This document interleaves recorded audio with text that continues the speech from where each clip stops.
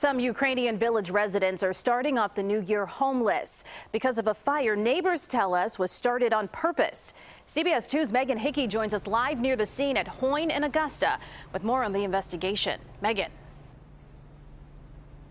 Erica, tenants say this fire was set over an eviction, and this morning fire crews told us they were looking for a suspicious person who was here around the time that that fire broke out.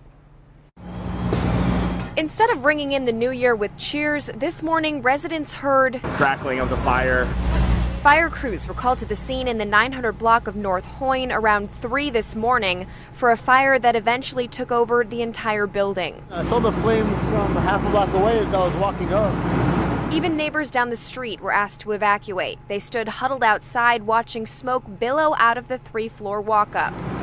Fortunately, the tenants made it out safely, dodging some serious flames. They were massive. I mean, the entire that entire porch was completely engulfed in flames.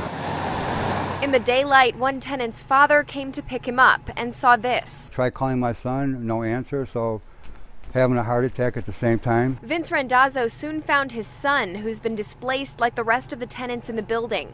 And they tell me the story is even worse than it seems.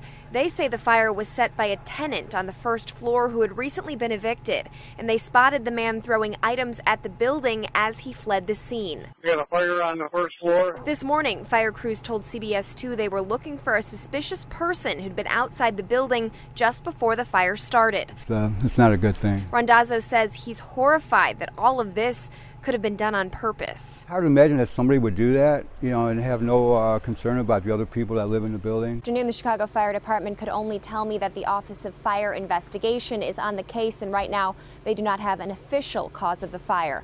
Live in Ukrainian Village, Megan Hickey, CBS 2 News. Erica, back to you. Thank you, Megan.